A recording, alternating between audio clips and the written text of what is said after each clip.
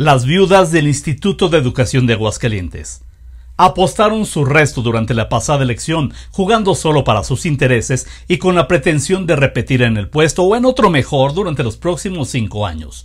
No lo lograron. Hoy son las viudas del IEA, funcionarios públicos insertos en la cofradía de Enrique Morán Faz, quien durante los años que permaneció agazapado en ese instituto se dedicó a tejer una red de complicidades donde aquellos que se negaron a someterse a su voluntad eran sujetos de su ira y de acciones revanchistas, en pocas de las cuales por cierto tuvo éxito.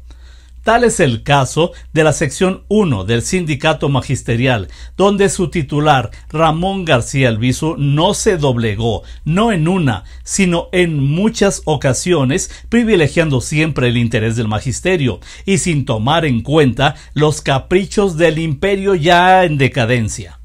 Y no fue el único. Por el contrario, Morán presionó al margen de la ley a más personas, escuelas e institutos.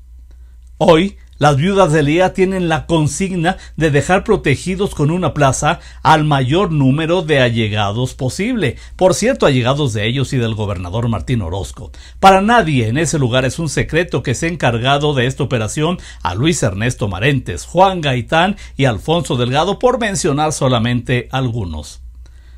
Entre muchos otros nombres que suenan, ya se ha logrado colocar al chofer del gobernador Martín Orozco Ramón Islas, quien recibió plaza de docente asignado a la Escuela Normal de Rincón de Romos, y la directora jurídica Yamilá Marisol Gutiérrez Ornelas, a quien ya se reasignó de ser mecanógrafa a docente, también en la Escuela Normal de Rincón de Romos.